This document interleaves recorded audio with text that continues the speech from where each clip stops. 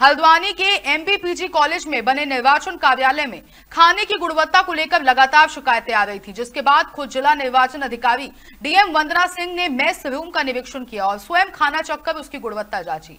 खाद्य सुरक्षा अधिकारी को खाने की गुणवत्ता का विशेष ध्यान रखने के भी निर्देश दिए।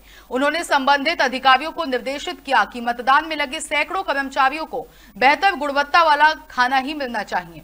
रोज़ाना अलग प्रकार का खाना दिया जाए जिससे लोगों को मजबूरन बाहर न खाना पड़े। साथ ही डीएम ने साफ़ सफ़ाई का भी विशेष ध्यान रखने की हिदायत दी है। हल्द्वानी से दीपक अधिकारी की रिपोर्ट।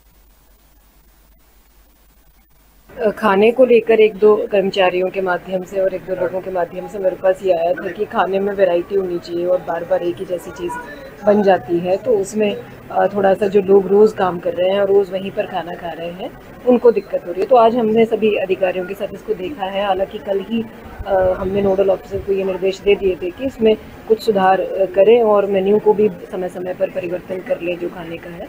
तो आज क्वालिटी में काफ़ी अंतर आया है। इसमें सब लोगों से पूछा भी गया है कि किसी को कोई कंप्लेंट तो नहीं है और जो भविष्य में सुधार किए जा सकते हैं, उनके लिए भी निर्देश दिए।